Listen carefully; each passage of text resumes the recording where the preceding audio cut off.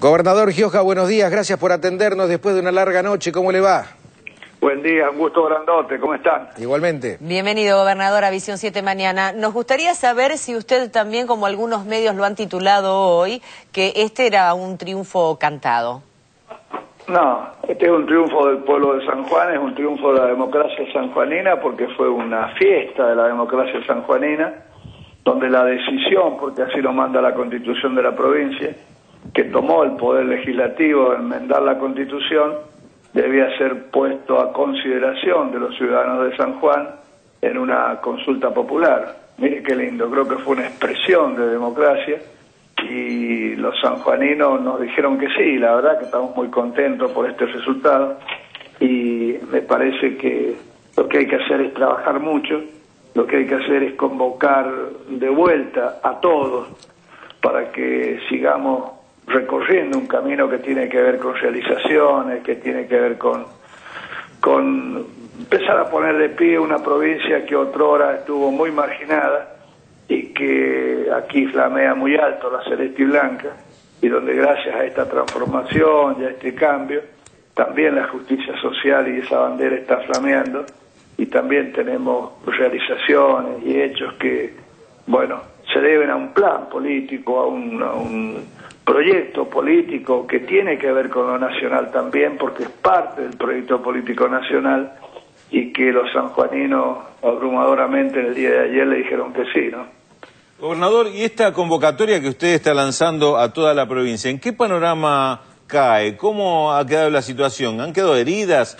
¿Muchas sí, han diferencias? Quedado algunas heridas, han quedado algunas heridas que yo estoy seguro que el tiempo las tiene que cicatrizar porque me parece que todos los que hacemos política, excepto que alguien confunda, lo que queremos es que a la gente le vaya bien, que a San Juan le vaya bien, que tenemos que estar juntos, que no significa ir tomaditos de la mano, ni siquiera votar lo mismo, pero que significa que fijemos objetivos comunes que tengan que ver precisamente con el progreso de San Juan y que trabajemos por esos objetivos, ¿no? Gobernador, ¿tiene compañero o compañera de fórmula para un próximo mandato? No, no, todavía está muy fresco. Lo que ayer se ha votado una, una posibilidad para, para hacer esto, pero ayer no se ha elegido nada, se ha dado la oportunidad y hay que pasar dos partidos complicados, hay que jugar dos partidos complicados, la abierta, simultánea y obligatoria, o sea, la primaria, que va a ser igual que la nacional en agosto, y después la elección general en, en octubre, ¿no? De manera que para eso vamos a seguir trabajando y nos vamos a poner a, a tratar de, de, acordar y que sea lo mejor, ¿no? Pensando que la posibilidad de la interna, quien no esté de acuerdo, y pensando en la general, obviamente, ¿no?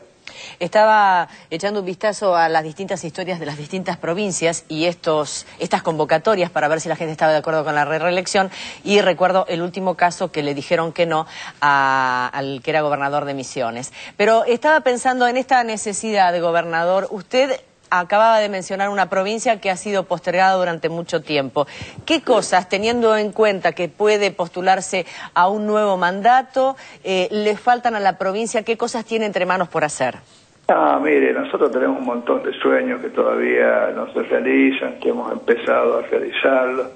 Eh, por ejemplo, tenemos, estamos trabajando y mucho en algo que es estratégico para la región, como es el corredor bioceánico y como es la posibilidad de que los sanjuaninos estemos conectados todo el año con, con el Pacífico, con Chile y con la salida a los mercados que hoy están emergiendo, como son todos los mercados del Pacífico y bueno, es el túnel de Agua Negra, que es una obra importante.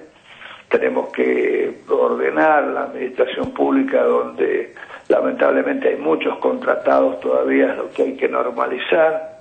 Tenemos que seguir con un trabajo que tiene que ver con, con infraestructura, que tiene que ver con, con un modelo de producción también en nuestra provincia, que tiene que ver con este Estado que lo recibimos muy preventario porque era el que era el patrón de todo, eh, siga siendo un Estado que esté presente, pero que no sea el Estado que tenga tentaciones a, a meterse en cosas que no tiene que meterse y mucho menos que sea la única fuente de trabajo en la provincia, que otrora era así, el que gobernaba, el que decidía mayoritariamente sobre la vida y obra de los sanjuaninos que por ahí no tenían oportunidades en, en la provincia y tenían que irse de esta provincia, ¿no? Gobernador, ha sido muy amable por estos minutos. Gracias eh, por el diálogo para la televisión pública. Bueno, un abrazo grandote para todos. El gobernador de la provincia de San Juan, José Luis Gioja.